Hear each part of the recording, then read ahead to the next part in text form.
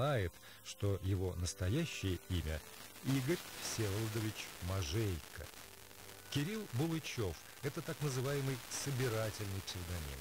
Он был скомпонован из имени жены писателя Иры и был Мало кто знает, что его настоящее имя Игорь Всеволодович Мажейко.